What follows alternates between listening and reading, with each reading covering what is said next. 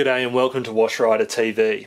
Today we're going to take a look at the new WashRider rudder cable tensioners.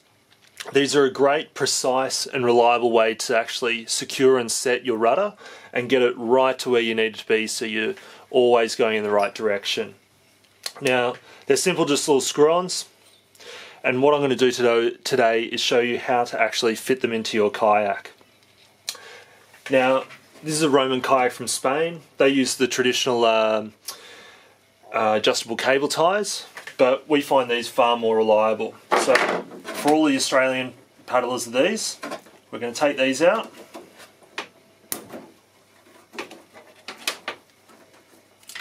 And just take one out at a time. Now what you'll need to fit it is just a marker pen, maybe a lighter, but that's optional. We're going to do is we're going to undo the existing knots. Okay, once you've undone the knots, you want to bring your actual rudder cables in nice and tight, making sure that your tiller or your pedals are exactly where you like them for this side, and we've still got the other one connected on the other side, the existing uh, cable tie. And what we're going to do now is we're going to pick up a fully screwed one in the barrel. We're going to line it up and just mark each side where we want to screw it to. Sorry, where we want to tie the knots to. So mark that side and that side.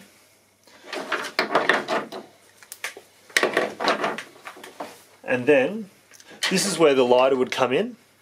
If you had really frayed edges on the uh, Spectra or this is Kevlar line, you'd actually get the lighter and you just melt the ends so it doesn't fray and can go through the hole easily. So for the back line, we're going to put that into the big barrel end.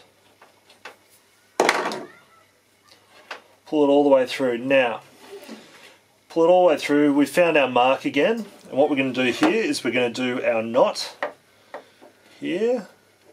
I like to do a half fisherman's knot. That's the old Boy Scout showing through.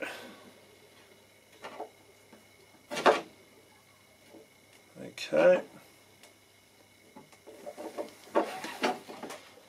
Now, what we'll do is we'll curl or fold the string down so it doesn't get in the way of the screw on the other end. Close that up, and that's ready to go. Now on the other side, we'll take the screwed end with the black little nut We'll thread it through. Same again, but this time we'll get it just to the end. And then where my right hand is, we're going to tie a knot here. So I'll take it back a little bit. Just do a little overhand one here.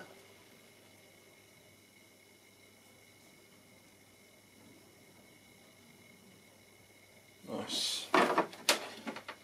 And then we'll put the two ends together and screw it on. Now, the black nut here in the middle, that's just to lock it on so it doesn't start unscrewing itself. And that'll sit there nicely. I like my rudder cables so they've got a bit of a acoustic to them. And then now that we've done this one, we'll make sure the rudder's in exactly the right line where I need it. And we'll just do the second one now here too. So there you have it. That's how easy, easy it is to install the WashRider rudder cable tensioners, head to the website at washrider.com or through one of our retailers to get yours today. Happy paddling, guys. Bye.